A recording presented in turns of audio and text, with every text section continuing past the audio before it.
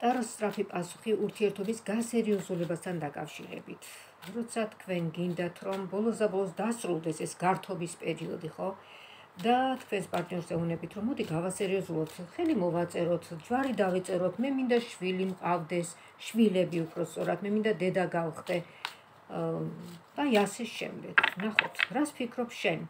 ეკითხები თქვენს პარტნიორს. ნახოთ, აბა რას ფიქრობს ის? რას ფიქრობს ის? ეს არის შვიდიანის კვერთხები. ფიქრობს. პრობლემები აქვს ბიჭს. და იმიზეზებს ამას, რომ სანამ ჩემი პრობლემები იქნება, მანამდე ვერ ვიფიქრებ ჩემს ოჯახის შექმნაზე და ასე შემდეგ. არის ნამდვილად ფინანსური პრობლემები მისკენ. ცხრიანის მონეტები ჩანს და ეს უკვე მეტყველის იმას მას მარტოობაც უნდა და თავისუფლება უნდა. აი, მას უნდა თავისუფლება და მისთვის პრიორიტეტი არის ფინანსები, ხუთიანის კვერთხები. ვერ თანხდებით ამ საკითხთან დაკავშირებით. მოკლედ ასე შემოკარგებო, აი. ვერ თანხდებით. სამწუხაროდ. მინდა გისურვოთ ჯანმრთელობა, ბედნიერება და შეიცვალეთ პარტნიორი. მეტი სხვა რა უნდა გირჩიოთ? მომავალ შეხვედრამდე.